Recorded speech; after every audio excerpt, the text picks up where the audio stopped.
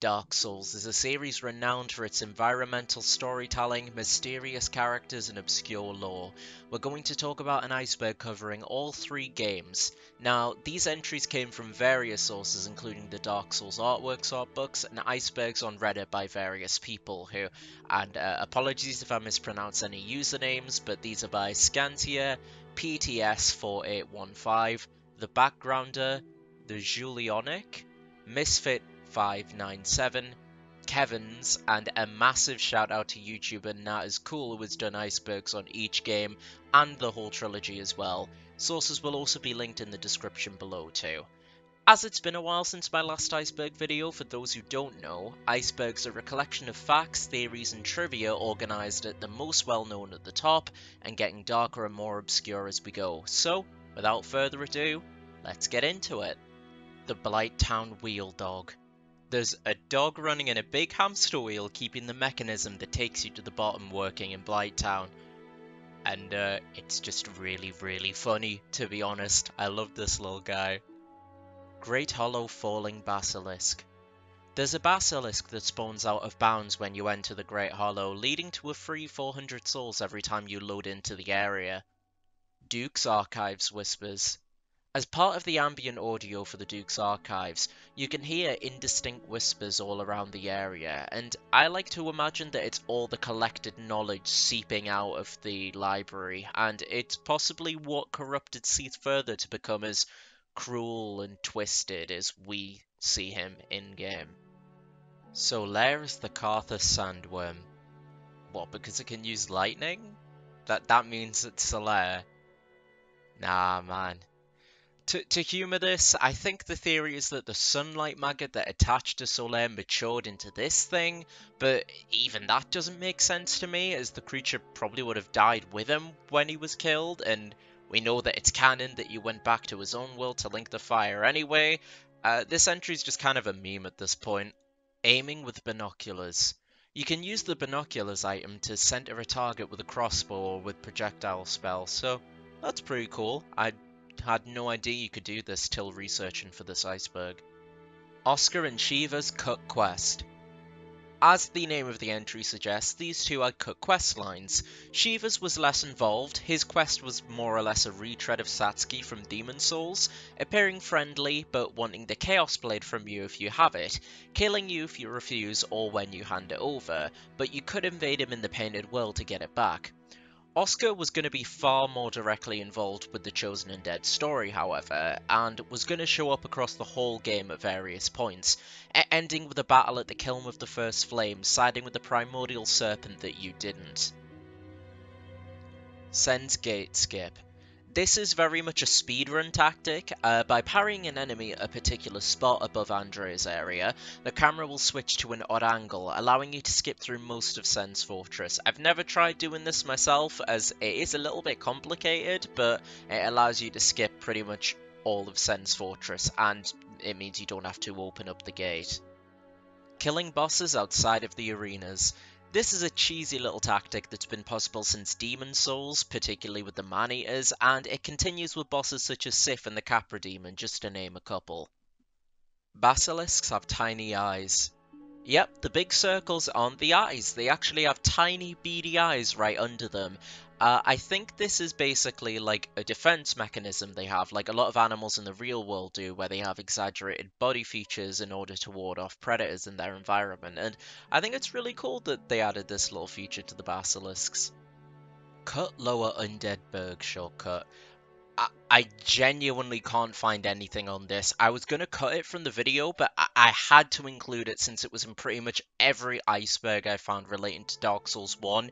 The only thing I can think of is maybe the the bars were meant to not be there and connect back to the upper Undead Burg or something, or maybe somewhere in the Capra Demons area was meant to get you back to Firelink Shrine or something. I don't know. Someone please explain this in the comments. I am begging. Petrus is a traitor. He's a nasty piece of work. He deliberately had Rhea and her guards go down to the Tomb of the Giants in order to leave them to die. And if you rescue Rhea and leave him alone, he'll just kill her at some point. Undead King Jariel. A cut boss for the new Londo Ruins, he shares the exact same attack animations and moveset as False King Allant from Demon Souls. I believe you were meant to kill him to gain access to the key to the seal, as cut voice lines from Ingward imply.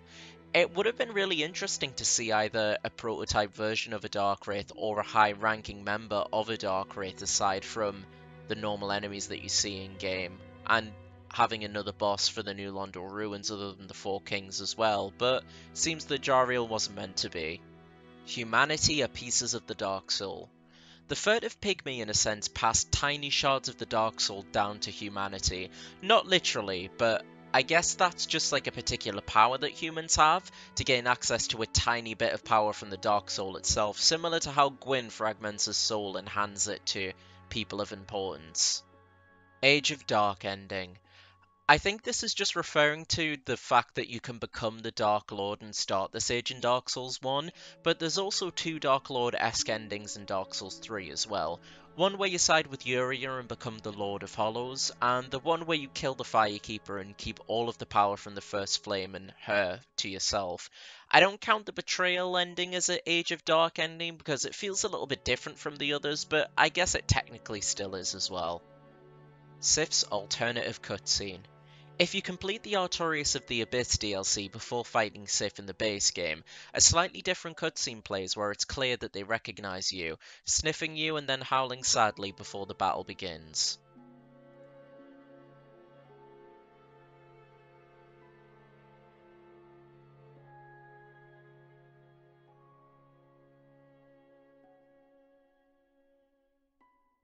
Smough kills Ornstein. This refers to the cutscene in the ONS fight after beating one. If Smough's beaten first, Ornstein respectfully places his hand on his chest before absorbing his power. If Ornstein dies first, however, Smough bonks him. However, although it's very hard to spot, you can see Ornstein's fingers twitch ever so slightly before he's hit, meaning that he was still alive and Smough was actually the one to do him in purely for the sake of power two Sanctuary Guardians. So I actually didn't know this, but after killing Artorias, there'll be two lesser Sanctuary Guardians in the original Guardians boss arena. That's wild to me. It's probably so you have a better chance of getting their exclusive item uh, by cutting the tail, but uh, yeah, I didn't know that you could fight two little Sanctuary Guardians after killing the main one and killing Artorias. It's crazy. Critical item chest. I think this is referring to the treasure chest that's behind Frampt. If you throw important items away, like let's say the Lord Vessel for example, it'll reappear in this chest. It's pretty cool. Using the Four Kings sword. You were originally intended to be able to get the same sword that the Four Kings use as an Ultra Great Sword boss weapon in the game, but this was unfortunately cut for the final release. Ash Lake Hydra Jump. When fighting the Hydra in Ash Lake, if you run to the other side, it'll do a huge leap to chase after you and continue its attack on the other side. It's always a really cool visual in my opinion. The Iron Golem is made from dragon bone. The core of the Iron Golem was created by the gods when they fused together ancient dragon bones with the power of a soul. Without its core, uh, the Iron Golem would just be a hunk of armor, and it wouldn't be able to be used as a proving method for Knights of Gwyn's army. The Nameless King is Faraam. Both beings are known as the God of War. In Dark Souls 2, the Lion clan, being mostly associated with Faraam, was said to appear very suddenly, so perhaps after being exiled, the Nameless King arrived in an unknown region with a new name, and then later went to live the rest of his days with the Storm Drake that we see in Dark Souls 3. Praise the Sun. The gesture most famously tied with Solaire in the Sunbro Covenant, it was tucked away in Demon Souls as a higher up told Miyazaki to get rid of it and the pose looked dumb, but he personally really liked it so it was hidden away and it became hugely associated with Dark Souls and Solaire in particular, seeing as it's the pose he always makes when you summon him into your world. Fake Moonlight Greatsword in Dark Souls 2 Benhart of Jugo is seen with what looks like the Moonlight Greatsword, but when finishing his quest, he gives you his weapon, and he always talks about how it has some sort of special power uh, that comes from his bloodline, and he needs to prove himself to wield it. But as it turns out, this is a fake.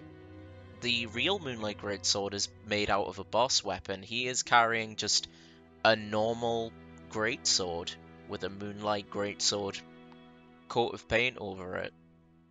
Three pigs. I think this is talking about the three pigs in Majula, like right outside the abandoned mansion. Uh, the only thing I can think of as to why they're on the iceberg is I think each time you kill them, they get slightly bigger. And other than that, they're really, really scary. I don't like him. Uh. Cockiness. When you first meet him, he comes across as a bit meek, but overall a pretty nice dude. But the more you buy from him, and when you buy a significant amount from him and he gets a certain amount of souls, he becomes a right asshole. Not a fan of the guy. Broken Saint's Spear. In contrast to most weapons, breaking the Saint's Spear in Dark Souls 2 is actually pretty beneficial. It changes the moveset to a mixture of Twin Blade, Halberd, Falchion, and Spear movesets, and this is really unique. I can't think of any other weapon that works like this in the whole franchise, honestly. Ceaseless Discharge, Easy Kill.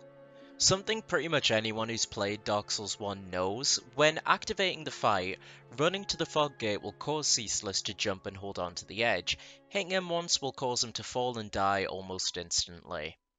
Majestic Greatsword left-handed.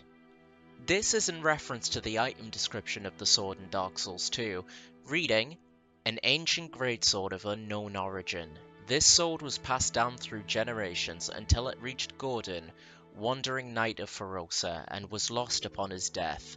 Uncannily, every last one of the prominent swordsmen who inherited this weapon was left-handed.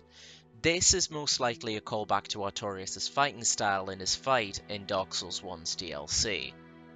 Orange Sky after Yhorm and Aldrich. Potentially being a carryover from Bloodborne, the sky everywhere except I believe Irithyll and Archdragon Peak become orange and the sun becomes an eclipse, specifically being the dark sign after slaying all Lords of Cinder besides the Twin Princes. And I wish this did a little bit more in the actual game world. I know it didn't do a ton in Bloodborne, but it did signal kind of the progression of gameplay and it did change up enemies as kind of the night progressed. And like I say, I just wish they did a little bit more with this concept. It could have been really cool to see slightly changed enemies as the game goes on, or like a mix up of enemy placement. Just something small to keep things fresh, you know? The nameless usurper is Licia. A woman who you meet at the end of Heide's Tower of Flame, Licia appears to be nothing more than Dark Souls 2 Miracle Vendor, However, there are a few hints that she has a more darker nature, specifically a greed for souls. The Nameless Usurper is a red phantom who invades the player at multiple points in game, who wears the exact same outfit as her, and if Licia is killed, the Usurper will never invade you. That to me being pretty much concrete proof that they are the same person. Pisacas are kidnapped women. This is just a very disturbing fact. Seath is known for the kidnapping of maidens and human experimentation. Two particular Pisacas also drop miracles associated with Gwynevere, implying that they're handmaidens or servants of hers, and by extension, all Pisacas are scared, transformed women broken beyond repair. Now that that's all of layer 1 covered, it's time to get into the second. Andre's scrapped origins. He was originally intended to be the son of Gwyn, the exiled firstborn, and he'd originally pushed a statue to open the kiln from Firelink Shrine for you. Unused bear armor slash bear warrior character. There's cut armor in Dark Souls 1 that very much looks like it's made from bear skin. Honestly, I wish they kept this for like maybe the deprived class. It would have really gone into the caveman vibe they've got going on. You know, animal skin for clothes, club, me hit, ungy bungy. Infinite soft humanity glitch. There was a bug that allowed you to have unlimited soft humanity, i.e. the number at the top left of the screen rather than the actual item, which is referred to as hard humanity. There's an infinite souls glitch too. Skeletons drop no souls. Yeah, since they're constantly being reanimated by necromancers, they don't have an independent soul to drop in Dark Souls 1 anyway. I believe that they do drop souls in Dark Souls 2 and Dark Souls 3, since skeletons work differently in those two games rather than the first one. Dragon Butt's huge aggro range. In the original game, the range these enemies will trigger to attack is about three quarters of the area they actually reside in. Thank god that the range was greatly reduced in the remaster though. Halberd Sweet Spots. Hitting enemies with the tip of the halberd will deal additional damage. Now, this isn't the worst thing to do in Dark Souls 1 or 3, but due to the changes to the moveset in Dark Souls 2, it really gutted their viability in that game, which is why they're on the iceberg. Jeremiah is the parasitic wall hugger. In Blighttown, you come across a demon stuck to the wall. In the files, it's known as Prince Izalith, as in the son of the king of Izalith and the witch of Izalith. So this leaves the identity of the wall hugger either being one of two people. It could be Xanthous King Jeremiah himself, as in the art book it does state that the big cone scarf that he has is covering up a demonic parasite, or that Jeremiah is the king of Izalith and this is him and the witch's son. Could be called Jeremiah Jr., who knows? Artorias and Quelaag cut dialogue. Before fighting him, Artorias had cut lines of him essentially losing his mind and hallucinating. Quelaag on the other hand seems to have had her own covenant, which wouldn't really have worked if she was a required boss unless she was originally the leader of the Chaos Covenant, and then once you kill her, the Fair Lady runs it. But if it's her own thing, then yeah, it wouldn't have worked if she's a required boss, because you'd have to kill your Covenant leader.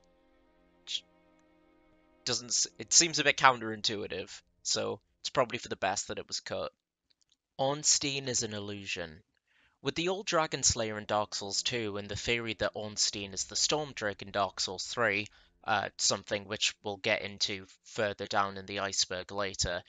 And Smough's item description in the same game, it's highly debated if Ornstein already left by the time the Chosen Undead arrived, and the Ornstein we fight is an illusion made by Gwyndolin.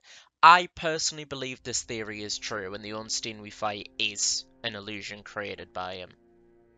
Poop walking.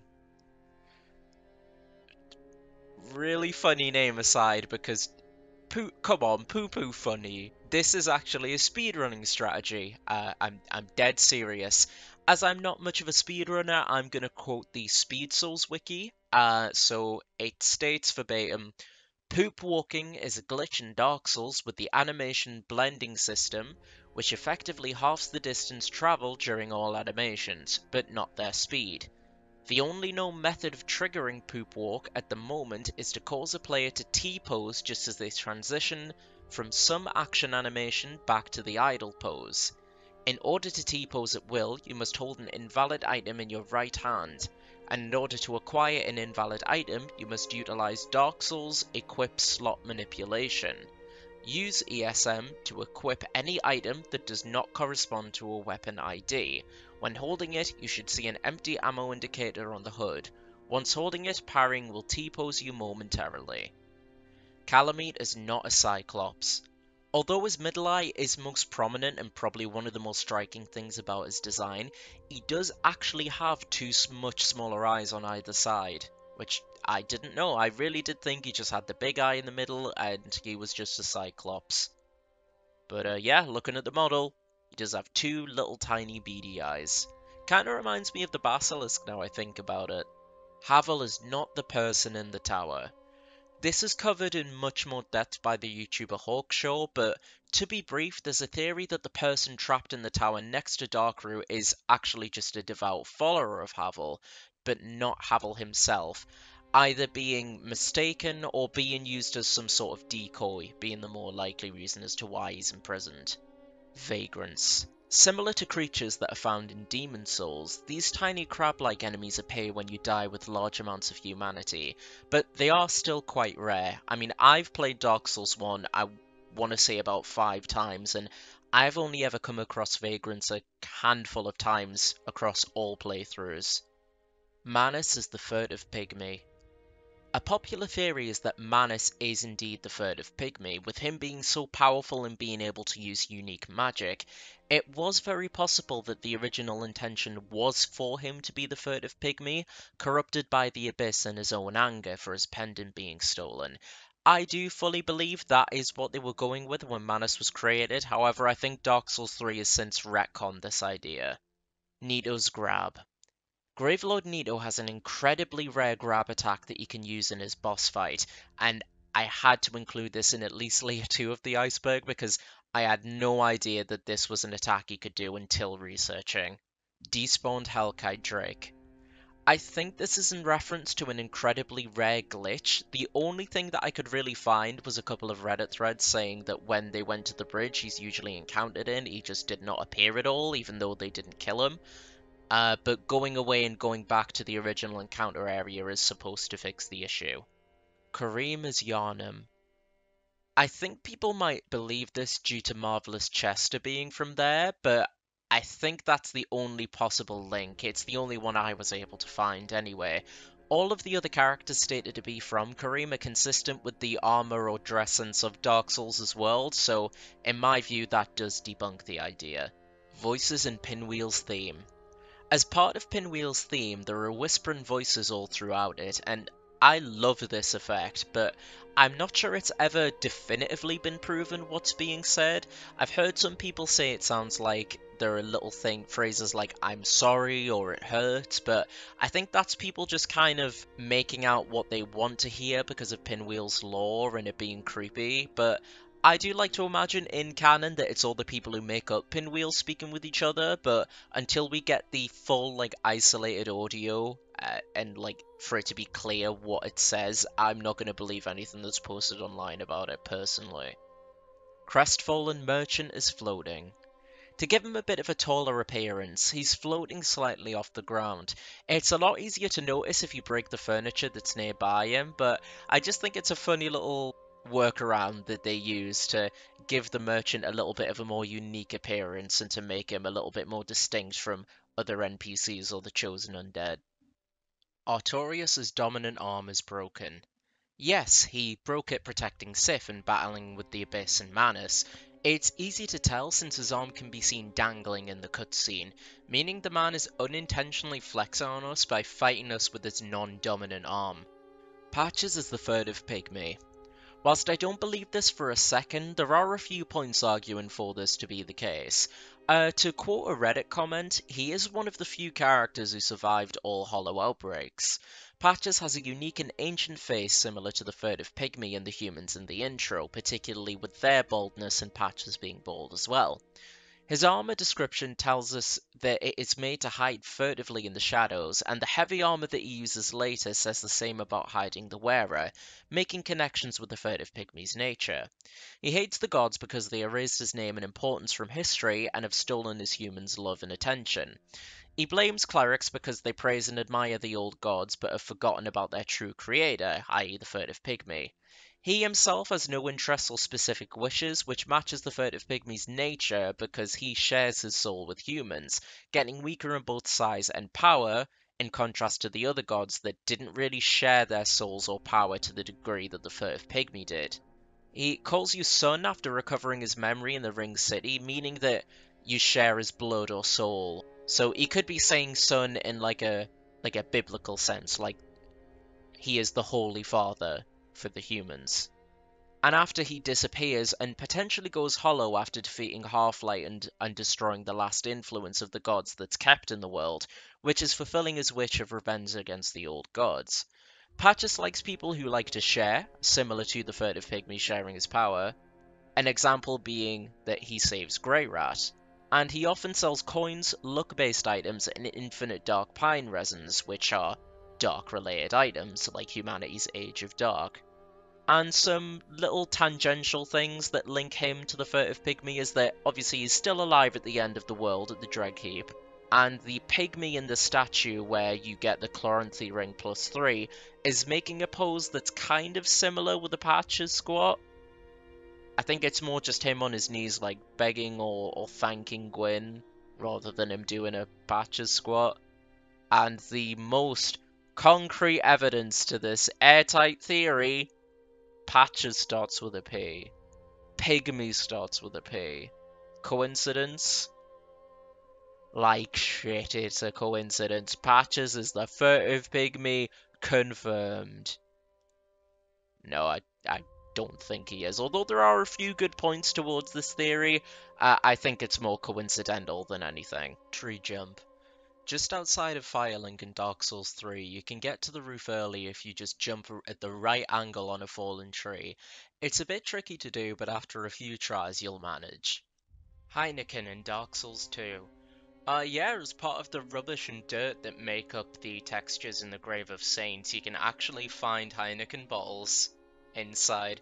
I think there's also another area in the game that has like car parts, so these were obviously just taken off of the internet and like not tested to make sure that it fits in the Dark Souls world, but the implication that Heineken exists in, in the Dark Souls series is kind of hilarious. the old Dragon Slayer's identity. Whilst I personally don't believe this, there are a few things pointing to the possibility that the old Dragon Slayer is some form of Ornstein, so let's go through a few now. It could be possible that the old Dragon Slayer is some sort of reincarnation of Ornstein's soul, which was gifted to him and the Four Kings by Gwyn. Is that the old Dragon Slayer doesn't really appear to be as agile as Ornstein was. He does the original charge at you when you first enter his battle arena, but he never does this move again.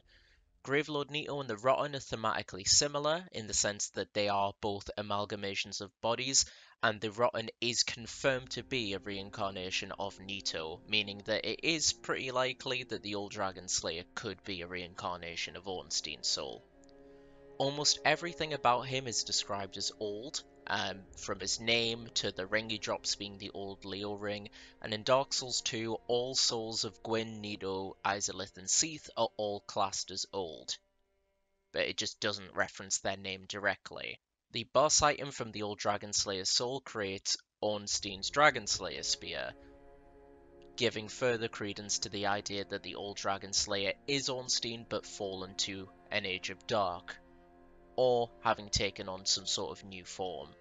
And lastly are the thematic similarities, such as him guarding a cathedral just like Ornstein did, and the speculation that he was guarding potentially Gwynevere or whoever lived in Heide's Tower of Flame before they left, and he either lost track of them and lost his purpose in life, or they died or left him, and that left him sort of lost with no place to go, and thus he fell to the dark instead of using lightning attacks like he did in Dark Souls 1.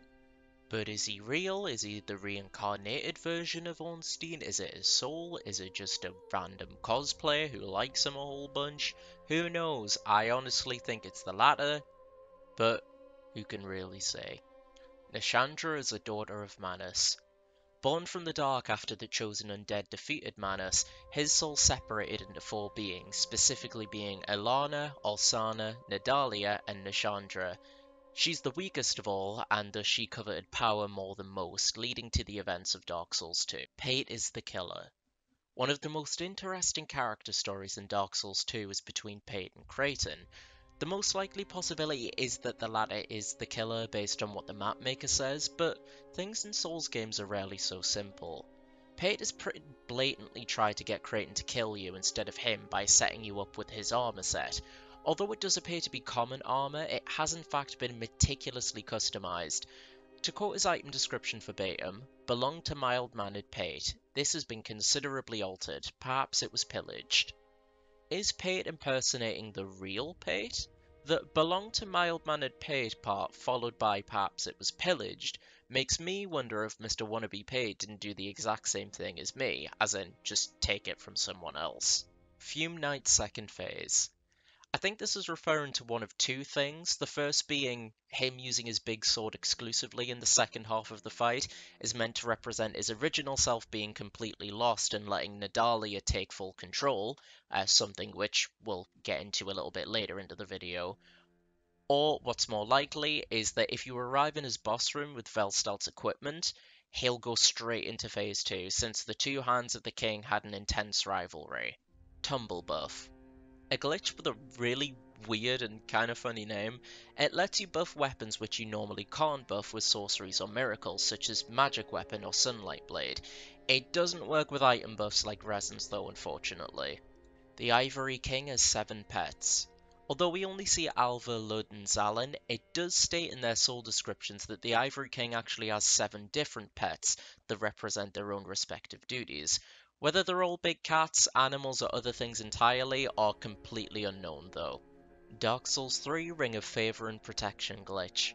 This is a glitch where you can get infinite stamina by repeatedly equipping and unequipping the Ring of Favor and Protection. The glitch works because the Ring of Favor increases the maximum amount of stamina, but also resets the stamina pool back to full in the process when equipping it. Centipede Demon visible before boss. Before fighting the centipede demon, you can actually see him just chilling out on a wall near the bonfire just before the demon fire sage. You have no way of harming him before the boss though, even though it does seem like that you hit him if you try to attack him here. Manus Bow-Cheese. Similar to the entry uh, regarding Sif and the Capra Demon that I mentioned before, you can kill Manus before going through the boss fog. If you aim carefully in the area where the fogs are located, you can actually kill him via bow and arrows without having to once step into the arena at all. Dark Souls 2 Nito Shrine Although I'm not 100% sure, I think this is referencing the shrine that you can pray at right after the Demon of Song boss fight. There's also a Milfanito, a being that you encounter a few times around the shrine of Amana singing beside it, and they make mention of the Great Dead One multiple times, Nito being the most likely person as to who they're talking about. Escaping Seath's first encounter. Something that I only learned about recently, but I wish I knew before I actually played the game. You can leave the first unwinnable boss fight with Seath at any time by simply just walking out of the boss fog like you do when you enter. To my knowledge, this is the only time in the whole franchise where this is possible. New Londo Ghost Babies In New Londo Ruins, there are two types of ghosts that you can encounter. The more common ones use sides to attack. The other doesn't appear to hold a weapon but just screams loudly, attracting other ghosts to you. These enemies will always be holding a baby in their arms, adding to the already disturbing vibe of the New Londo ruins. Lord Vessel in Dark Souls 2 in the mansion in Majula, you can find the Lord Vessel from Dark Souls 1 broken in the rubble. It's always been my take that this is here because it's meant to imply that the events of Dark Souls 1 happened ages and ages before the events of Dark Souls 2, and such an important item being little more than trash is like a visual representation of this the Rotten's left arm. His arm can be cut off, and if done, you get a Pharros Lockstone as a reward. Some use this to fuel to support the idea that the Rotten is actually Pharros himself. Cut Petrus introduction. From cut voice lines, it seems you were meant to save him from being killed by Pinwheel originally, as he says that he's going to be used as a tool for necromancy. Based on the voice lines, it sounds like this is how you're meant to encounter him originally, rather than meeting him first and him getting kidnapped by Pinwheel later. Perhaps he was meant to be up on that table instead of this random skeleton initially in Pinwheel's intro cutscene. That would have been pretty harrowing. That's everything in Layer 2, and now it's time to dive deeper into Layer 3. Pursuer's original concept. The Pursuer was going to have a more unique role as bosses go, using weapons he finds on the ground around the area depending on where you run into him, instead of having a traditionally set in stone boss moveset like he does in the final game. Original Bed of Chaos fight. It was meant to be against the King of Izalith primarily, with the Bed of Chaos being a background element. I imagine it would have probably have been kind of like the old monk from Demon Souls, where you fight like an NPC type enemy with the Bed of Chaos swiping at you and taking a more active role in the fight than the old monk did. Katarina Armor Inspiration. So the armor inspiration for the Onion Knights is actually based on the minor Berserk character Bazuso's armor, and uh, that went on to inspire the Onion boys and girls that we see in game today. Knight of Thorns armor inspiration. It turns out it was originally inspired by Tarkus and Bruford's Iron Ring trial from JoJo's Bizarre Adventure, Phantom Blood, the first part of the series. You wouldn't think that just by looking at it, but after the dev's explanation in the Dark Souls 1 art book, it totally makes sense. Like, I definitely get it after reading their explanation. To briefly summarize, the whole thorns aspect of the armor takes inspiration from the trials that Tarkus and Bruford had to go through to become knights, where they wear large iron rings around them whilst fighting opponents. The Lost Sinner's Hands. It looks like the Lost Sinner possibly has two dark signs in the palm of her hands. Every human is meant to have only one, which raises the question as to why she doesn't follow this rule, unless the holes are just the result of torture. Londo Spiral Non-Backstab. Uh, this is just basically to say that the backstab mechanic just does not work at all on the big Anor Londo Spiral Staircase. It, it, it just doesn't. Don't try. Item burden still exists. A Demon Souls mechanic where you can only pick up a certain amount of items before becoming over encumbered and not being allowed to pick up anything else. This, instead of being removed altogether, actually makes a comeback in Dark Souls 1. They just give you like an item burden of like 999, so you'll probably never become overburdened unless you're purposely trying to be, but it was removed outright in the later games, and I'm glad it's gone, to be quite honest. Crag Spider's rare attack. If you stand behind the Crag Spider enemies, they have a very low chance at shooting their eggs at you. As that woman said to her kids. Disgusting! PS3 Miracle Resonance Ring bugged. Honestly, Illusionary Wall explained this in amazing detail, and I'd highly recommend checking that video out, but to sum this entry up briefly, essentially these are meant to boost the effectiveness of miracles, visualized by large white circles out in the world. It worked on Xbox 360 and the original release on PC, but not on PS3. Patches would bring it back briefly, and then it would become broken and unusable. It does exist in Dark Souls Remastered, although it is extremely rare. Butcher's a female. Yes, every butcher enemy is specifically meant to be a woman, and that's been confirmed by Miyazaki himself in the same interview that I referenced earlier in the art book. Child Witch Beatrice. Originally, there was meant to be a summon specifically for the child version of Beatrice, the summon who helps you against the Moonlight Butterfly boss. Shame this was cut, as this was obviously a clear-cut reference to, and I can never pronounce her name right, Shirkshi from Berserk. Tarkus didn't die by gravity. People believe that such an accomplished warrior who had to get through Sen's Fortress couldn't have just fallen once he reached Anor Londo, and was instead assassinated by the Painting Guardians. I think this is the most likely way Tarkus died, but I've also heard a theory that the Iron Golem picked him up and just threw him so hard that he threw him into Anor Londo, and that's the explanation for the the broken window. But uh, I personally believe the Painting Guardian's idea because the mental image of him being thrown that far is just kind of really funny. The boulder lever moves on its own. Yep, I'm not sure if this was just a glitch that wasn't fixed or it's meant to be intended, but the mechanism that makes the boulders in Sen's Fortress move elsewhere will just go back to its original position after a while on its own. You can actually watch it happen. It's happened a few times to me across my playthroughs, and I always thought it was just really bizarre. Visiting the town under Firelink. Like the 1-2 town in Demon Souls, I covered that in my Demon Souls iceberg, you should probably watch that if you haven't. You'd probably like it, but self plug aside, there's actually a large, surprisingly detailed town underneath Firelink Shrine you can explore with hacking tools.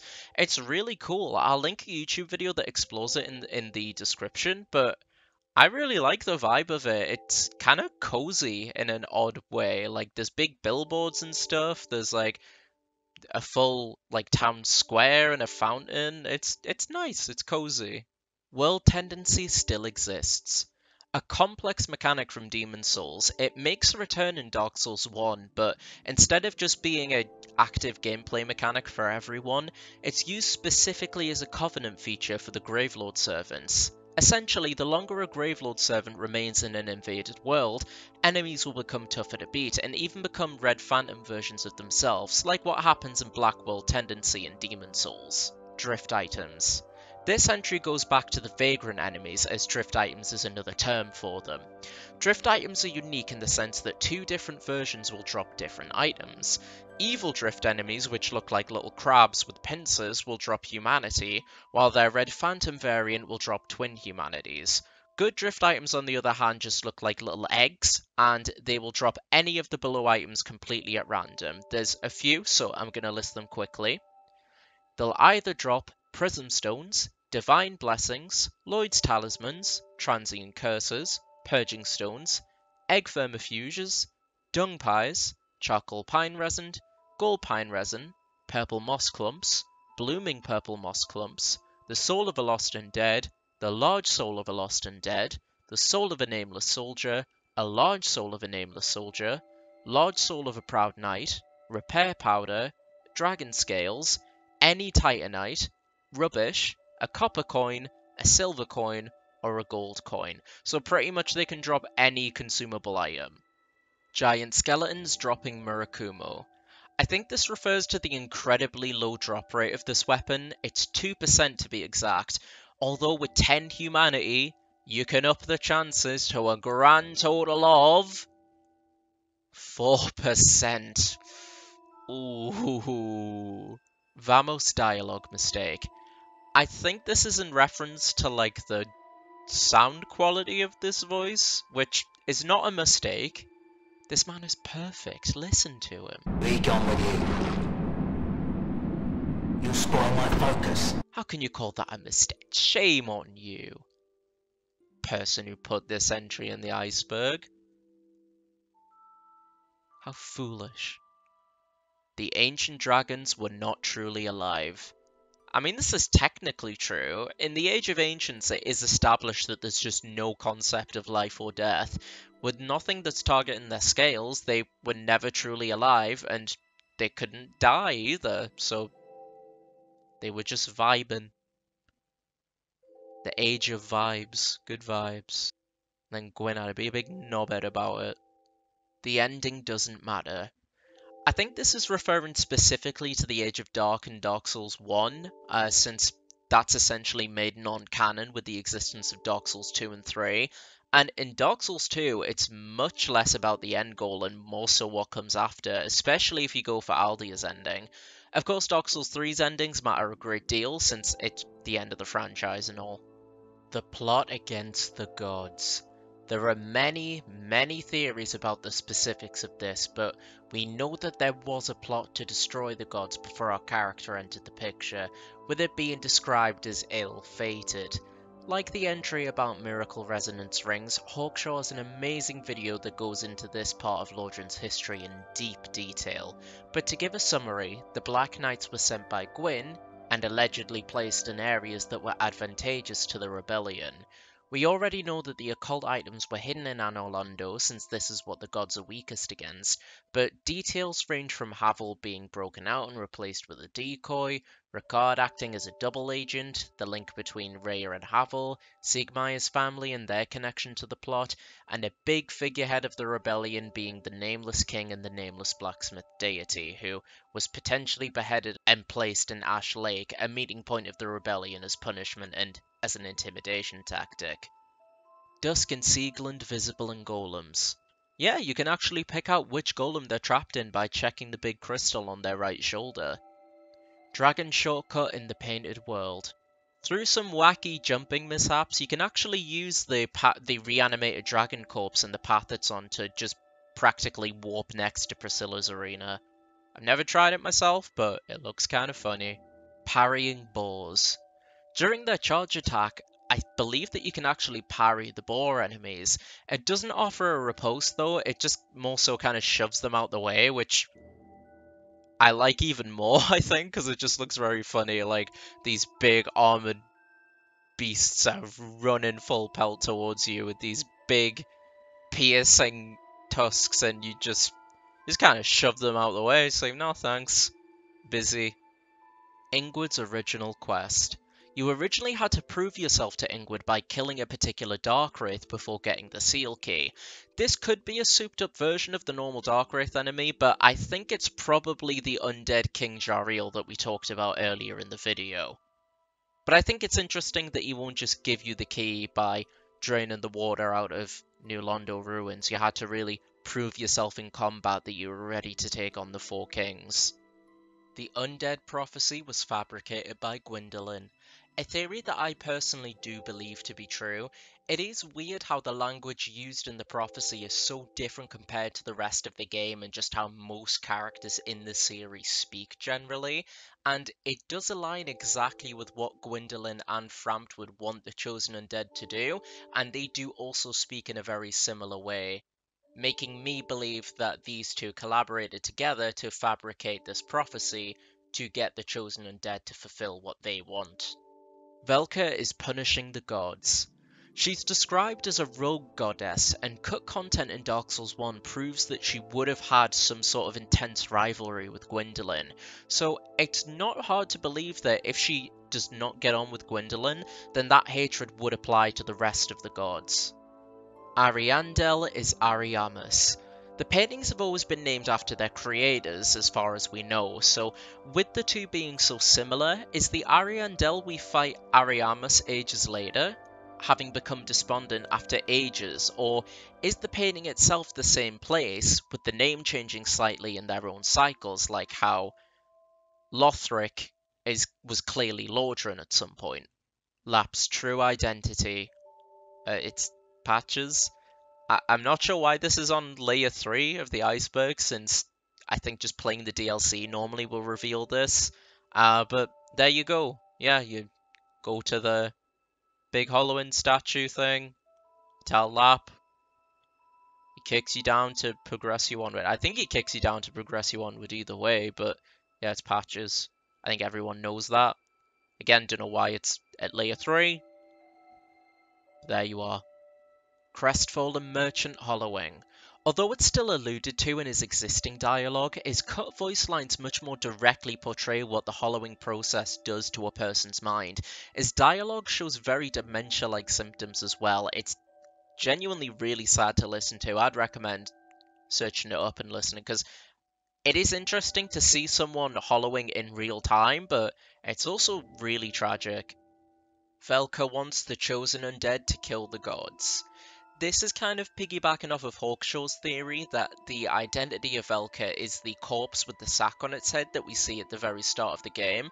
Now, the evidence he brings forth is quite compelling, but it always struck me as a bit weird that this god who clearly the other gods are afraid of to some extent since they hate us so much would die to a demon that, while strong, an undead can kill. So presumably, if an undead, granted a skilled undead, can defeat it, a god should have little to no problem. So that makes me think the only way it would kill Velka is if Velka wanted to die. So perhaps maybe that was her way of having a hand in having the chosen undead being broken out of the asylum or she could just be using the undead in general as unknowing puppets to carry out her rivalry, killing the gods without her having to get directly involved. Rosaria is Gwynevere. During Leonhard's questline, he kills Rosaria and we must obtain her soul to revive her. It is very strange that the place where we invade to recover her soul is specifically Gwynevere's chamber in Anor Londo, where we find the illusion of her in Dark Souls 1. Another piece of evidence is that we find Gertrude taught her followers bountiful light, but from Rosaria's soul we can make bountiful sunlight, which is a more powerful version of the spell. They also do look and sit quite similar, so there's that too. The Show Your Humanity puzzle. To progress in the Ring City DLC, you have to use the Young White Branch to turn into a Humanity sprite and go near a ladder which will drop down for you. I have no clue how people were supposed to work this out since there's absolutely nothing in game that points towards this being the solution to the puzzle. I, I understand it connects to finding the humanity statue, but still, there's nothing really in game to say, yes, going in the swamp specifically and using the young white branch will make you turn into a humanity sprite. You can't just do it anywhere, or that's what you need to do. How how people found out that was the answer to the puzzle beyond me. Gale is a Berserk reference. Yes, I think it's probably the most obvious Berserk reference, with the exception of Artorias, but his fighting style is a clear parallel to Guts's. He uses a large sword, he has a crossbow on his arm, Gale has a normal crossbow, whereas Guts has a crossbow built into his prosthetic arm, and they use their cape for some attacks. Gale's fighting style actually specifically reminds me of Guts in the Berserker armor, not like anything in the Golden Age or when he's fighting without the Berserker armor activated. They are very, very similar in that regard. And I think also the fact they are both completely human. Um, obviously, Gale gets powered up seemingly with the power of the Dark Soul, but he is still just a normal human being, the same as Guts. Aldrich kidnapped Anri and Horace. I don't think it was him specifically who did it, seeing he was a, as a big ball of sludge at the time. I don't think he was physically able to. It was probably done by a deacon who took them to be fed to Aldrich, a fate which thankfully they escaped, but a lot of children didn't, leading to their events in the main game and their vendetta and questline. Yuria works for Kaathe. If killed, she will say, Kaathe, I have failed thee meaning that the Lords of Hollows ending and Yuri's whole questline was inspired or orchestrated by Kaathe the entire time, working in the shadows. Seath did the nasty with Gwynevere. Did he? I'm not sure why people think this, to be honest. This just comes across as weird, degenerate fanfiction to me. I don't like this. I'm not going to talk about this anymore, it's gross. Seath and King's Field. Yes, the character Seath was originally invented for King's Field. He's also a large dragon in that game, but obviously they are totally different characters. Seath the Scaleless is just more meant to be a callback more than anything. Gough isn't blind. There's a theory that Hawkeye Gough just thinks that he's blind, either since he's on a bound or too stupid to take off his helmet. I don't agree with this, and I think this is anti-giant propaganda. Hawkeye Gough shows that he is very intelligent and articulate every time you speak with him, I don't think unless he was specifically honor bound by Gwyn to say, no, you're not taking this hat that's actively hurting you off, he would just take it off. Like, man's probably just blind and it doesn't really affect him anymore, so he just keeps the helmet on, or it's physically stuck to him with resin and he can't take it off. Be nice to Gough. I don't like this anti-giant propaganda.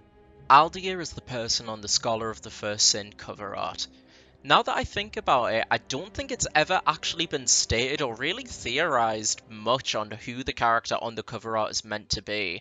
We never come across a character that looks like this in games, so it potentially could be Aldia's human form, since we never see what he actually looks like, we just see what he looks like now. He's a being that exists between the bonfires. I've heard a couple of people say it might be Vendrick, but I think it looks a bit too different from Vendrick in games, so I think Human Aldia is probably the best option, and it's also the coolest in my opinion. The Rotten is Pharros. I think it's because we see him clearly tinkering with like things. He created the poison statues and the facial expressions look very similar to that on the Pharros Lockstone, potentially linking the two together. Giants had faces. In Dark Souls 2, any giant has a large black hole in place for a face, but this didn't seem to always be the case. You can see one giant corpse that actually does have a face just before the Giant Lord boss. I'm pretty sure this is an earlier design that was left in the final game by mistake, but it is cool that we do get to see officially what they were supposed to look like originally. The Lost Sinner was a pyromancer.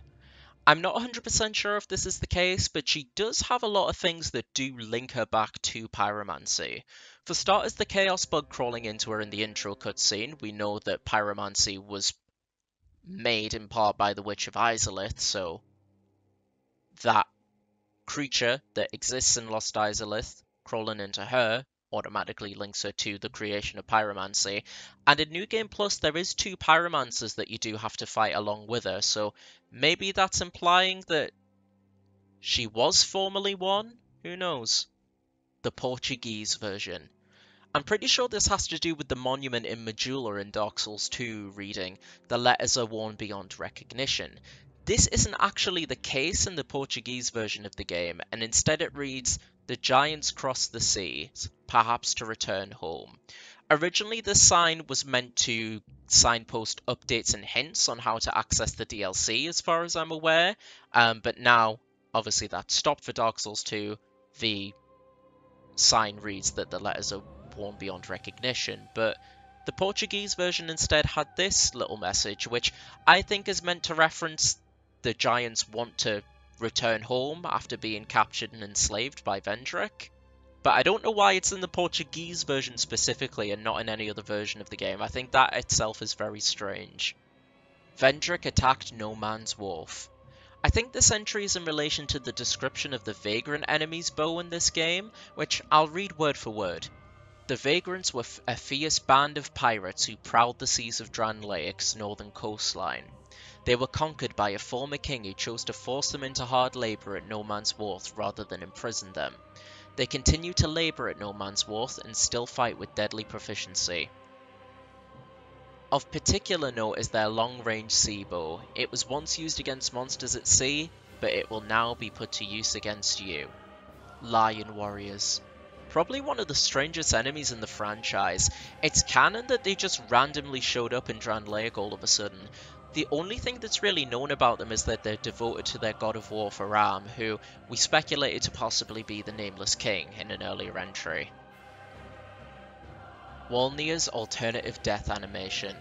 His normal death animation is him getting sucked into the abyss. However, if you destroy two of his three bracelets and bring his health down without breaking the third one, he will like rise up and fade away instead, having like the death animation of a normal enemy or boss instead of his unique one. Parrying Dark Souls 2's pigs. Apparently you can parry the pigs next to the mansion in Majula. I know each time they kill that they get slightly bigger, and apparently once they get to a certain size you're able to parry some of their attacks. I'm not 100% sure about this, I'm not sure if it's real. I mean I've seen a couple videos on it and it looks genuine enough, but this carries the same energy as parrying rats in Dark Souls 1 to me, which obviously you can't do. But it is funny. Invisible Hollows. An enemy created for Dark Souls 2, specifically in Scholar of the First Sin, they become visible upon approaching them with a torch. When attacked, they become visible as well, taking the form of a naked hollow enemy. The Throne Watcher's gender. This is a surprisingly interesting little rabbit hole. In the English version, it always refers to them with male pronouns, although their design itself is quite feminine or androgynous, and the enemy does seem to use a woman's voice. They don't have any gendered pronouns in the Japanese version of the game, so I guess we just have to go with the English version until told otherwise. Pontiff's Prism Stone Sidestep. That sounds like a really bad country club. Anyway, when Pontiff Sullivan is walking sideways, there seems to be a bug in his AI where dropping a Prism Stone will always make him jump to the side, allowing the player to get a free hit in or a free easy heal during the fight. Ocelot. Another massive rabbit hole of cut content. During the Oceiros boss fight, he was meant to be holding a baby, the mysterious Ocelotte referred to in his battle. There's even a model of him in game, and when he transitions into his second phase, I'm sure you can guess what happens to the poor little guy. There's even cut voice lines of the baby like screaming, following by lots of horrible squishing sounds. This presumably had to be cut out of the final game for censorship reasons, and fair enough, but I think the censorship made for a more interesting story of the question of whether Ocelotte's real or just a figment of Oceiros's madness. Attacking human Nashandra. Although it's only possible to attack her with ranged weapons, if you cheat and hit her with a close range weapon, she does have actually voiced lines of her laughing and mocking the player before vanishing, and this is interesting because I don't think she says these voice lines if you use a ranged weapon. She'll still laugh, but I don't think she'll comment on it directly, whereas if you hit her with a close range weapon, she will, which is really weird. The White Steel Katana. This was a special item that they gave away for Dark Souls 2 many years ago. There were a couple of weapons exclusively given away like this for a very limited time, which is kinda interesting, but they're mostly just variations on items obtainable in the main game, the White Steel Katana included as well. Shalquoir acknowledges you as king or queen. I believe they're the only character that will do this when you finish the game without going into New Game Plus, along with the Emerald Herald. Although Shalq... I always mess up pronouncing their name, Shalquoir is consistently portrayed as knowing much more than anyone else in the game, so it doesn't surprise me that she's the one to know this. Still with us? Well now it's time to get into layer 4 of the iceberg. Deacons of the Deep. Chandeliers dangling above Aldrich's coffin were potentially used to store children or people for him to eat, and obviously it would be the deacons who would bring it to Aldrich as a sacrifice. And it's a very grim little detail. Cut fight in the Throne of Want. The Throne Watcher and Defender were originally intended to be fought alongside Velstadt as a 1 versus 3 fight, and I'm really glad they ended up not doing this. It sounds hellish. Quelana used Undead Rapport on Laurentius. Laurentius only turns quote-unquote hollow when told about a pyromancy made by Quelana and when she spawns into Blighttown. Surely new pyromancies would give him reason to continue living rather than turn hollow, so some believe that Quelana used an undead rapport to kill undead, or you in particular. Sparing Sif. You can, but you'd need to use glitches to skip right to the kill with the first flame, as sadly there's no way to do this in regular gameplay. Nito's third coffin. An empty coffin placed next to Nito. It may be used for someone that we already know, like Pinwheel, or maybe someone special to Nito who's no longer around. Who knows? Ghost footsteps. In different areas, you have a small chance of hearing random footsteps as background ambience. I like to personally think of it as it's the player character sensing the other undead that have come and gone, or other undead in different worlds that are progressing through in the same area, but it's probably just there just to put a little bit of sense of unease in the player that there's other enemies around that weren't accounted for. Gaping Dragon was in Blighttown. At the bonfire at the bottom of Blighttown, there's a big empty area with a treasure chest. Some believe in the intro animation for the fight, this is where the Gaping Dragon crawls up from in order to look for some more food. I do personally believe this as it makes sense for there to be a dragon scale where the Gaping Dragon mainly resided. Hellkite Drake on Aqueduct. In promotional material for Dark Souls 1, there's a screenshot of a drake perched above the aqueduct near Firelink Shrine. It seems to look more purple rather than red, so maybe there was meant to be two dragons like in Demon Souls, or it was redesigned and moved for the final game. Competitive PvP with prize pool. There's not much to say here, although it sounds really odd now, there was briefly a professional scene where people played Dark Souls PvP for money. This didn't last long due to it being extremely unbalanced for this kind of environment. You'd be surprised what games can be played competitively. This is another odd one, but the game Catherine from Atlus of SMT and Persona fame was also played competitively for a limited time. Broken Arch Tree in Ash Lake was Portal to Boletaria. Although Miyazaki has confirmed Demon Souls, the Dark Souls trilogy, Bloodborne, Sekiro, and Elden Ring take place in separate continuities, fans still like to try and link them together. Some believe that the giant trees in Ash Lake are routes to each world that can be theoretically be accessed, and the close but broken one is allegedly linked to Boletaria, maybe being the Broken Archstone specifically now I'm thinking about it. These ideas also link a bit back to Elden Ring's Erdtree as well a bit, don't they? It's funny how these things kind of go full circle. Killing Kalameet without Gough. You can, although it's extremely hard and you'll need a fuck ton of projectiles. You even get a unique line from Gough if you'd manage to do this. Try wings. To quote the creator of the iceberg themselves, try wings is a message you can put on the orange soapstone. In the early days, people would try to put it near pits or high walls, implying it at some point of the game there was going to be an item that would let you fly. No such item exists, of course, and it's a mystery why Wings is available in the messaging options in the final game, as there's not really any winged bosses that have a weakness or anything special to do with its wings either. Blighttown's outdated Firelink model. This is in reference to a visual oddity, that being in Blighttown, if you look up to Firelink Shrine, it appears to be using an early beta model of the map instead of the final version. Black Knights were meant to roam. The original intent for the Black Knight enemies were to have them constantly roaming around Lordran, meaning you never knew when one will pop up and you have to overcome it. This wasn't possible due to technical limitations, and thus they were put aside as optional challenges for the most part. Bell Gargoyle Fall should be survivable.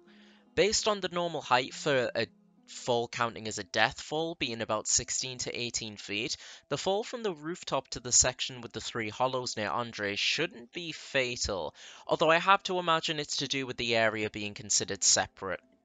Seath helped imprison Havel. This wouldn't surprise me considering they're known to be sworn enemies. I haven't found anything that would directly state how Seath contributed to Havel's imprisonment, but unless the Hydra outside of his prison, essentially, is a creation of Seath's, but of course he would have a vested interest in getting rid of him. The second gargoyle wounded by Lautrec or Crestfallen Warrior. While it's good for gameplay purposes, it's never explained why the second gargoyle was wounded from a lore perspective. Out the two, I think Lautrec would be the most likely candidate to have damaged the second gargoyle before we encounter it, since he's locked up near them. Smough is Aldrich. The only thing that really links these two is the arena that you fight them in and the fact they are both known to have intense, depraved senses of hunger, with Smough grinding his victims' bones into food and Aldrich just straight up eating people. But it does state in an item description in Dark Souls 3 that Smough was one of the last lines of defense for Anor Londo, so I doubt Aldrich is him, and if anything, he died fighting him and his forces. Which Havel is real? Is the one in Dark Souls 1 or Dark Souls 3 the real one? There's no real way of telling one way or the other, but one interesting theory is that the real Havel is the Dragon Slayer armor boss, it largely being a souped up version of him. You know, heavy armor, similar looking sword to his iconic dragon tooth, and rocking a big shield which would go with him, but I don't think we'll ever know, and I'm pretty sure that that is intentional. Smouldering Lake Origins. The Smouldering Lake as we know it was created by Lost Izalith crumbling apart and crashing into Ash Lake, merging the two together. God's Grave. This is the name of an area that was cut from the final game of Dark Souls 3. We know it would have resembled the catacombs somewhat, and the top half of the area would be based in a forest, which to me sounds like it could be an early version of Farron Keep. The only thing that points against this is that there are two enemies associated with the area. Oceiros, which in the code is called the Dragon Angel, and a cut boss known as the Mother Dragon that we don't really know much about. Dark Souls 3 Cut Ceremony Mechanic. There's a super in-depth video on this by Lance McDonald, but the ceremony mechanic basically would have acted as a portable bonfire, where you would make your own for the most part instead of set bonfires seen in the final game. Heide was modelled after Anor Londo, I think this is very clear just looking at the area alone, but there are more intricacies that tie the two together. To quote the Souls Lore Wikidoc, Heide's Tower of Flame and the Cathedral of Blue have similar architecture to Anor Londo, but there are differences. It can be inferred that the Hyde area was founded by people with limited knowledge on Anor Londo and the gods.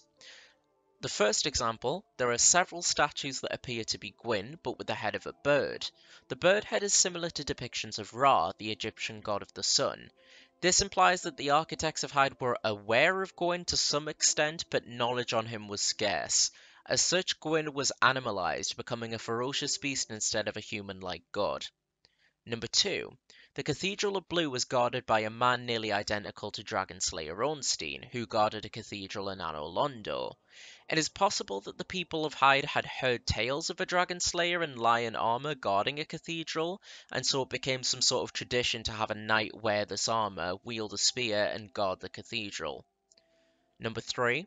The Blue Sentinels serve a similar purpose to the Blades of the Dark Moon, but while the latter covenant were dedicated to protecting the deities of Anor Londo, the Blue simply punished sinners. This implies that the people of Heide had heard legends of the Dark Moons, but only knew of their roles as arbiters. And number 4, the Old Knights look similar to the Giant Sentinels. As such, it could be inferred that Heide was the result of people attempting to recreate Anor Londo, but only with limited knowledge on the original, leading to bizarre inclusions of the old Dragon Slayer and unusual Gwyn-esque statues. Fake and original Velstadt. There's a theory that the Royal Aegis that we encounter in the Undead Crypt is a fake, and the real Velstadt is in fact the Throne Defender. To sum it up, it is odd that Velstadt doesn't appear to be hollow, despite being down in the Undead Crypt for so long, and the Throne Defender's soul description states that the Throne of Want needs an appropriate guardian, and who would be better than someone described as Vendrick's right hand? I do personally disagree with this and feel like someone who's clearly a cleric falling and using dark magic is clear representation of him hollowing, especially since we can't really see him behind the armor.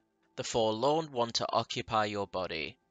Their armor set reads, Born of Aldia's obsession with the first sin, the forlorn lost their corporeal form and a world to call their own. Now they drift into other worlds, ever in search of a home.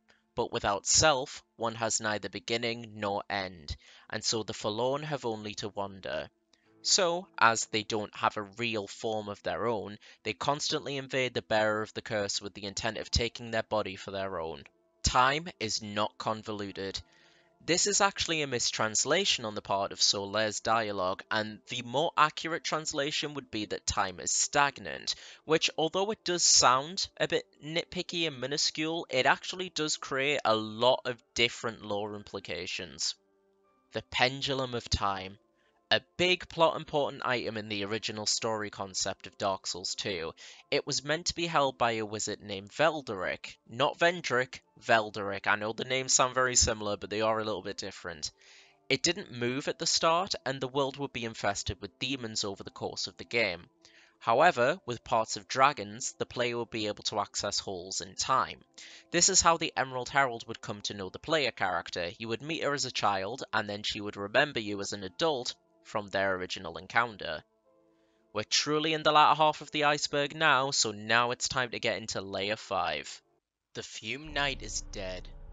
Surprisingly, it states in the art book that the Fume Knight went to the Brume Tower to kill Nadalia, but he was beaten, killed, and is now controlled by her spirit, as opposed to him sympathizing with her loneliness like I originally thought. Havel is the Stone Dragon. Some believe Havel sneaked away from the eyes of those in power in order to incarnate into the baby stone dragon tucked away at Ash Lake. Do I believe that he's the stone dragon? Honestly, no. I think it's just an ancient dragon that was either hidden or was missed by the gods in the war and is only recently hatched. But, uh, you wanna think Havel animorphed? You go for it. Yulia is the undead female merchant. The male undead merchant will often reference someone called Yulia. Some think that it's a dead pet or even his Uchigatana, but some think Yulia is the name of the other merchant who was captured by him and ran away and locked herself behind some bars to get away from him. He's a bit of a creep to be fair, so I, I can't really blame her. Fourth Asylum Demon reskin. Again, to quote the maker of one of the icebergs used for the video, the fourth reskin is a reference to the fact in Priscilla's arena there's an unused stray demon called the Snow Demon. Possibly before Priscilla was repurposed as a boss, he would be the boss of the Painted World.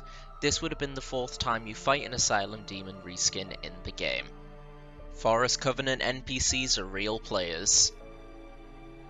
But they're, but they're not though. I don't know what to say to that. They're, they're just not. I don't know if they were based on real players, like characters when testing before the game came out or what, but yeah, I don't know what to say to this other than just nah. Griggs is a spy sent to kill Logan. He wears the Black Sorcerer set, which is used by secret sorcerers who never reveal themselves according to the item description. He drops the Hush sorcery when killed, but Importantly, will never sell it, which is used by other spies in the Dragon School of Vinheim, and despite being a huge fan of Logan, Logan never once acknowledges his existence. All of these point to the theory that he was sent by the Dragon School to either keep tabs on Logan or kill him. Blighttown lag is the intended experience. I think the original lag Blighttown should be classified as a war crime, to be honest. No one deserves to go through that, man. Speaking of, just watch Zero Lenny's video of uh, following the IGN guide for Dark Souls 1. Is that where this comes from? Because that guide also said it was the intended experience. It was like the true experience. 12 Kings boss. I believe this refers to the maximum possible amount of kings that can be spawned in that boss fight. The identity of the Crystal Knight. Some people think that he could be the one who created the traps in Sen's fortress, although not Sen himself. The most common belief, however, is that this is Idas, who created the crossbow Avelyn, but a more unpopular theory is that this is actually Sen himself. I personally believe that this is Idas and he's just more of an inventor type character, but I've seen a few compelling arguments for all cases listed. Using Priscilla to level up. She was meant to be the level up lady of Dark Souls 1, and some cut animations could be what she does to level you, particularly the more detailed animation where she blows ice wind from her hand. That's probably what she would have used to level your character. The Primordial Crystal was made to help Seath. This would have been only natural since there wouldn't be easily accessible dragon scales or dragons outright, so Seath would have needed something to help keep his pseudo-immortality in check, which makes it a little bit sad if the dragons made this primordial crystal to help out their clearly ill brethren, and Seath responded by killing them all out of jealousy. It just makes like his actions even more heinous now I think about it. Wolf Ring found on Chester. In cut content, Kuran makes a comment on the wolf ring if the player has it in their inventory. She mentions it was stolen by a man in a long coat. Obviously this is referring to Chester, but the player finds this ring on a nondescript corpse in Darkroot Basin. Could this corpse be Chester, having been killed by Kuran? Or is it just one of the enemies around the Royal Wood? Or did the ring just happen there by circumstance?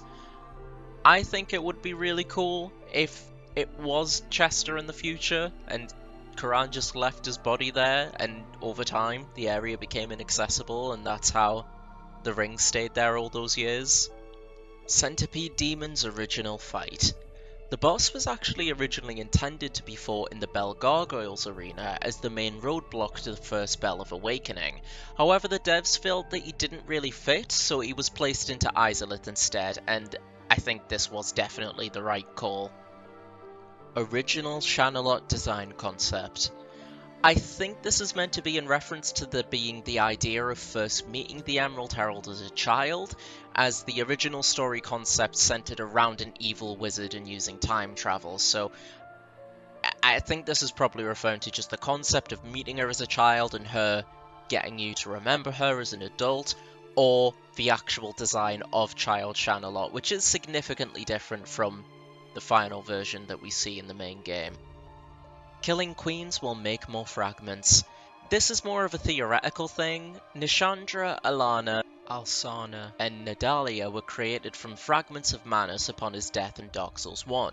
So if the queens are killed, could a larger amount of weaker children of Dark be created from them? I doubt this. Although they came from Manus, I think the only time Children of Dark would be created is only when specifically Manus is killed. I think these just represent different parts of him, and because they aren't the full being of Manus, their deaths wouldn't result in more Children of Dark. Human effigies cure insanity. Yeah, in a way they do. Using human effigies is the way to reverse hollowing in Dark Souls 2. In-game, it's basically used to remind the undead of their humanity, pulling them away from hollowing, i.e. losing themselves to despair and hopelessness. So yes, in a broad sense, this would cure insanity for the undead. The Iron Keep is in the sky. I think this has to do with the semi-popular headcanon that the elevator into the Iron Keep is based in the mountains seen just behind Earthen Peak, and the Iron Keep is situated high up in the mountains, not literally like a floating zone in the sky, but still very high up. I, guess it's possible, but it does feel like a little bit of a stretch in my opinion anyway. The giant's treasure was knowledge. It's mentioned that Vendrick invaded the lands of the Giants at Nashandra's suggestion in order to pillage a certain treasure. It's never directly stated what exactly the treasure is, but perhaps it's knowledge of soul manipulation, creating golems powered by souls which can be seen just outside of and inside of Vendrick's castle. We're truly deep in the darkness now, but we need to go deeper for layer 6. Godwyn's art inspiration.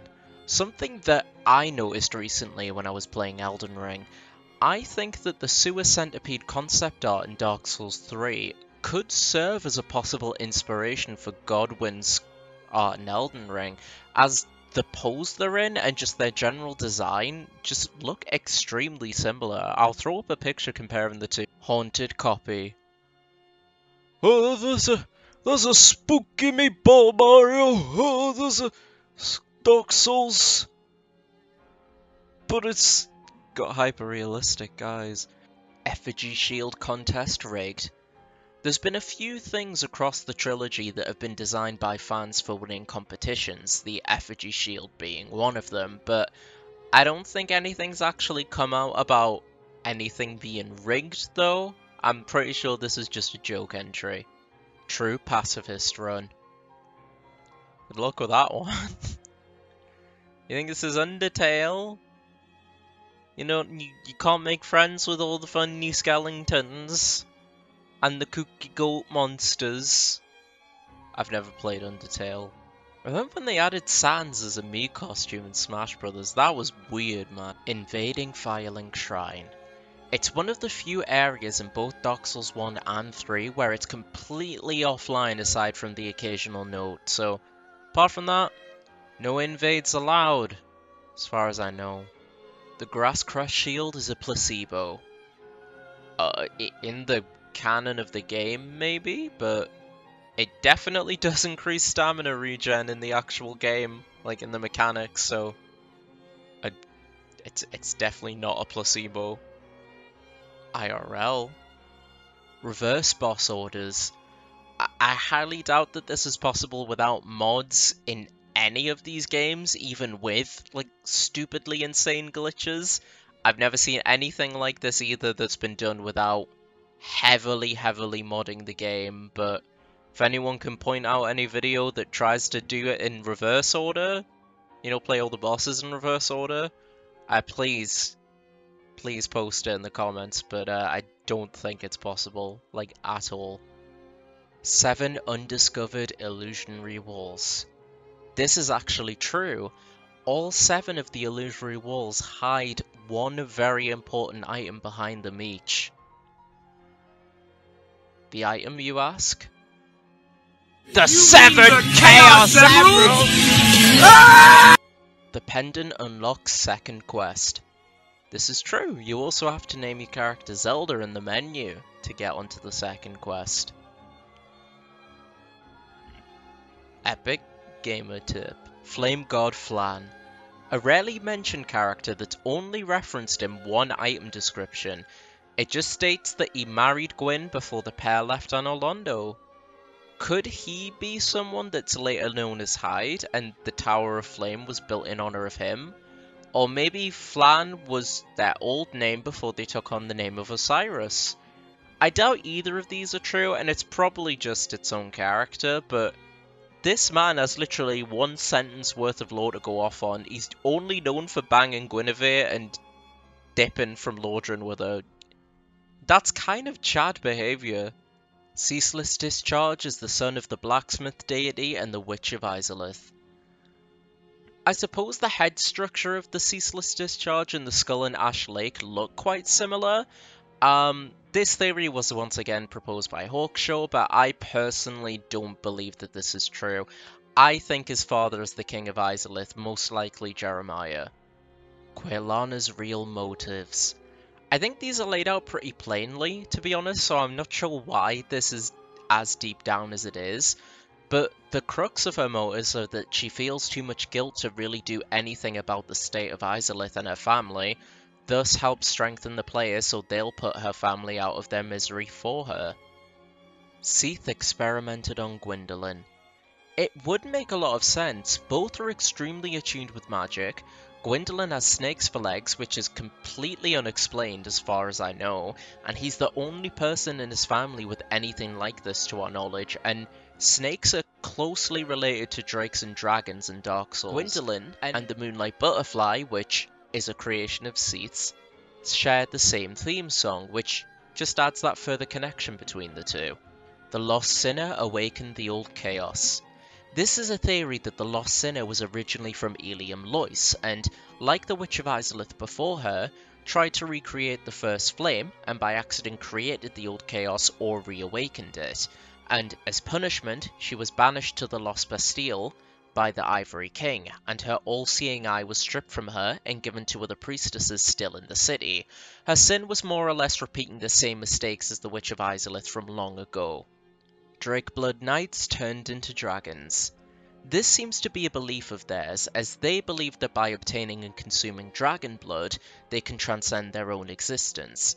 This could be an explanation as to what the weird dinosaur looking enemies are in the Sunken King DLC, but I take the view that this is just an unproven belief of theirs and none of their kind have actually turned into dragons. The Ivory King's gender identity. This theory stems from the ability in the Ivory King's armor set, in that the armor will provide healing upon beating a member of the opposite sex. It'll be much more effective for women since most enemies encountered in Dark Souls tend to be male, leading to the possibility that the Ivory King could be trans, or pulling a Mulan, being a woman but pretending to be male. Although Alsanna and pretty much all things referencing the Ivory King use exclusively male pronouns, but the magic gender changing coffin exists in Dark Souls 2, so to be honest, who knows? Your character saves Drangleic twice. Of course, the bearer of the curse saves Drangleic over the course of the main game, but they also save the land by going back in time and killing the Giant Lord, being a big part in stopping the invasion, despite the only one remembering this being the Giant Lord himself, which is why he goes crazy and attacks you as the last giant at the start of the game. I do find it really interesting that the original story concept was this seemingly cyclical nature of going back in time and your actions in the past directly affecting what you can do in the future or what had happened to the world in the future. So I think it's interesting that that part carried all the way to the final product. We're not done quite yet though, so now it's time to get on to layer 7. Vendrick is a king who was never realized as a king. The Dark Souls 2 art book comments on this in Vendrick's section, and I believe this is meant to reference the tragic nature to his rule, that it seems he was always destined to fail and suffer, despite seemingly being a good person with good intentions, although his rule was corrupted by Nashandra's want for power. The Throne of Want gives protagonists what they desire most. The Throne of Want shows a true monarch what they want to see in the end. Presumably you choose once within to link the first flame and become Cinder, this is most likely why Nashandra wanted to get to it so desperately, so she can enact her perfect age of dark and become the most powerful being, as we know the thing she covets more than anything is power. Specifics as to why all the old Dragon Slayer could be Ornstein or someone else entirely. Now, I've talked about him a little bit throughout this whole iceberg, but I wanted a specific entry talking about why he could be Ornstein or why he could be someone different. One reason as to why we see him use darkness instead of lightning could be that he fought Nashandra or another child of dark to let Gwynevere leave, or that he lost track of Gwynevere or otherwise lost his purpose, instead becoming hollow, being the same person, but now using darkness instead of lightning.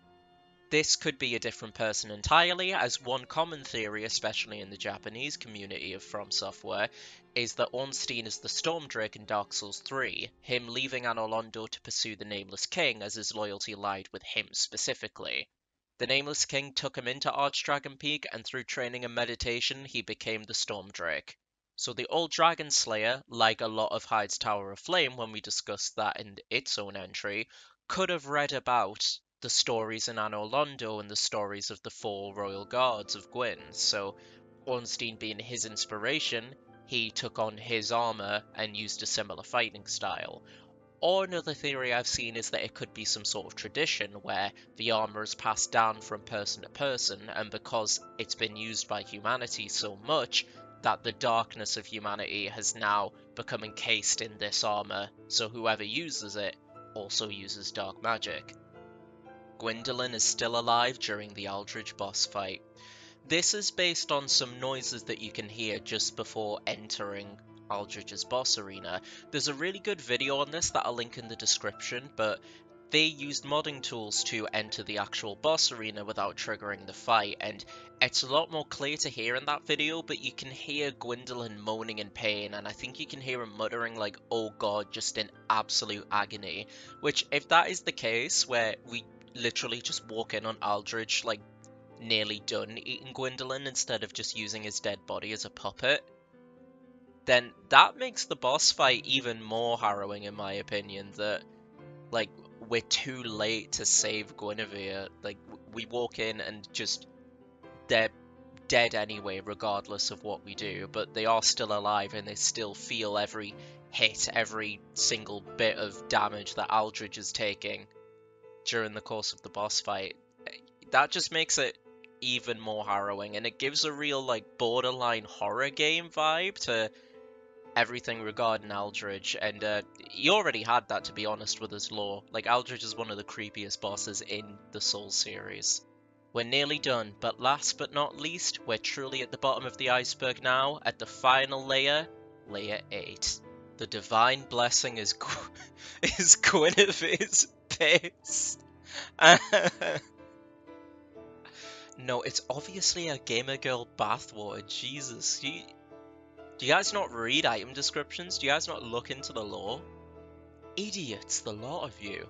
That's obviously why it restores you to full HP because it's so goddamn tasty. Like, if it was just piss, then it wouldn't do much, would it? Obviously, it's got to be the bathwater to fully restore your HP. Duh. The Age of the Deep is not real. A theory that I came up with myself. I mentioned it in my Dark Souls 3 analysis, and please watch that if you haven't. I feel like you'll enjoy it if you've gotten this far in like this video, but getting on to the actual entry. I believe that the Age of the Deep isn't real, and it's pieces of Aldrich's fuck psyche made manifest. He seems to be able to conjure things he dreams about into the real world, explaining why he can use the Life Hunt scythe, so who's to say he can't do that for himself? And the Deep is actually just a representation of his depraved mind, and the more he leans into his twisted desires, the stronger it manifests in the real world, creating the deep dregs we see in game. Yorshka cut content. Yorshka's outfit, described as a saint set, is available for the player to wear in removed content. According to the item description, Yoshka was originally imprisoned in a dungeon, presumably Irithyll dungeon, and her outfit, originally pure white, was stained ash grey from years of incarceration. Another article of removed content, Gwyndolin's Finger, could be presumably obtained upon defeating Aldrich. It could have originally been given to Yorshka for additional dialogue and a reward, presumably the Dark Moon Ring based on the dialogue in the game files, and according to its item description, she's a crossbreed similar to Priscilla. We see that in her design in the final game, but it would have said concretely that she is a crossbreed, the same species as Priscilla. Dark Souls 3 Kaathe concept art. I couldn't actually find any official concept art, like of just Kaathe specifically, but there is speculation that Kaathe, or at least the primordial serpents, were meant to have a much bigger role in Dark Souls 3, as the first leaked screenshot of Dark Souls 3 shows the dark sign leaking and hanging low in the sky, and though it's very difficult to make out, there appears to be beings looking very similar to primordial serpents with wings flying in the sky. So this to me says that in the initial story concept, Kaathe was meant to have a much bigger role instead of being deceased like he is in the final game. Maybe this entry is meant to imply that the statues we find in the final game of what very much looks like primordial serpents with legs is the concept art of Kaathe, but I've never found anything that confirms that this is concept art that was scrapped and instead used as environmental design in the final game. And that was the final entry in this massive iceberg on the Dark Souls trilogy.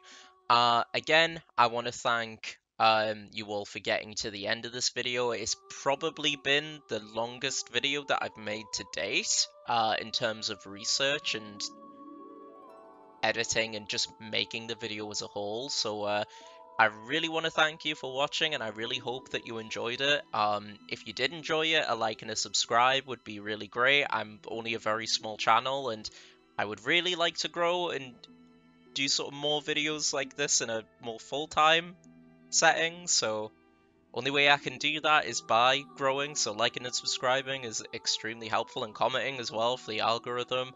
Uh, I want to give a huge thank you to all the people who created the iceberg. Um, as I said at the start of the video, please um, check out the original icebergs and the original videos that I've referenced all throughout the video.